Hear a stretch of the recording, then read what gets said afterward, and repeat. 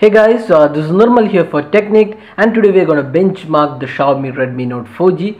So we already done the benchmarks for the 3G variant which came with an octa-core processor uh, with the Mali 450 uh, GPU uh, but the 4G variant has a Snapdragon 400 processor with an Adreno 305 GPU so there are some changes again. Uh, this is powered by android 4.4 kitkat while the 3g variant was powered by an older version of android 4.2 jelly bean so let's start off the benchmarking. Uh, so we'll do the benchmarks with antutu quadrant nenamark Vellamo and uh, multi-touch apps.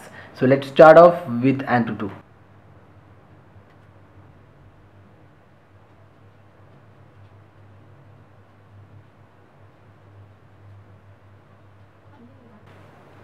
So the Antutu benchmark score for the Xiaomi Redmi Note 4G variant is 18114. Uh, so the value is considerably lower than the uh, 3G variant which had an octa-core processor from MediaTek. So we'll also compare the value with uh, the 3G variant uh, towards the end of this video once we have completed all the tests. Now let's start off with the quadrant test. So there you go the value is uh, 11157 so that's pretty impressive score uh, for a budget smartphone which is which has a quad core snapdragon 400 processor now let's perform the nenamark 2 benchmarking test.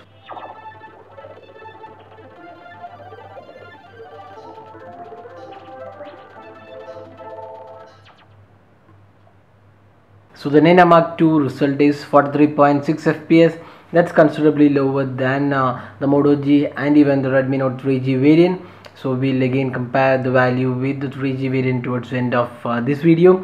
Now let's perform the Vellamo test. So first let's do the browser test.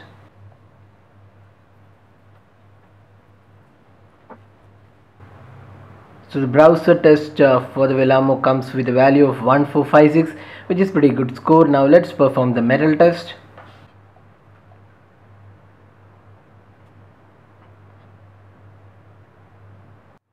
so the metal score is 598 now let's perform the multi-touch uh, on this device. So there you go. We'll keep uh, 10 fingers on uh, this device. And you can see this supports 10 point multi-touch. So even though this is a budget smartphone it supports uh, 10 point multi-touch so that was the benchmark scores of the Xiaomi Redmi Note 4G. So here's a quick comparison between uh, the 3G variant which, which runs octa-core processor and the 4G variant which runs the quad-core Snapdragon processor. So here's the comparison.